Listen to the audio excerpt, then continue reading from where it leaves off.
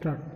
Hello everyone, today I will explain you uh, some commands over there uh, in MS Excel.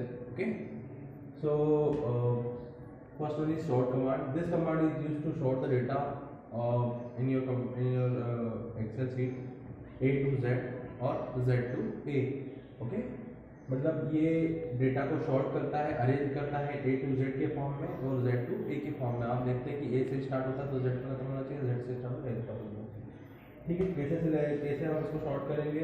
First select the field then click on sort option then click on sort A to Z then data will be sort okay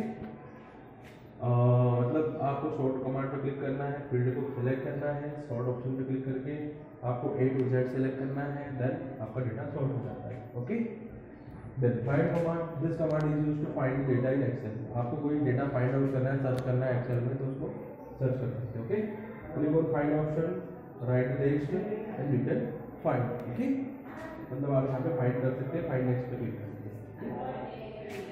Then replace this command is used to replace the text in excel. ये क्या, इसकी, ये किस के लिए होती है? Replace करने के लिए, है ना? तो कैसे रिप्लेस करेंगे? रिप्लेस ऑप्शन पे क्लिक करेंगे then write the text text लिखेंगे। जो टेक्स्ट मतलब जिस टेक्स्ट की जगह पे आपको जो चाहिए तो वो टेक्स्ट लिखेंगे, सबसे पहले जो टेक्स्ट है देन जिसको चेंज करना है उसको नीचे वाले स्पेस पे लिखेंगे। देन रिप्लेस टू ऑल करेंगे तो जो भी आप रिप्लेस करना चाहते हैं, वो सभी जगह पे रिप्लेस हो जाएगा। Okay thank you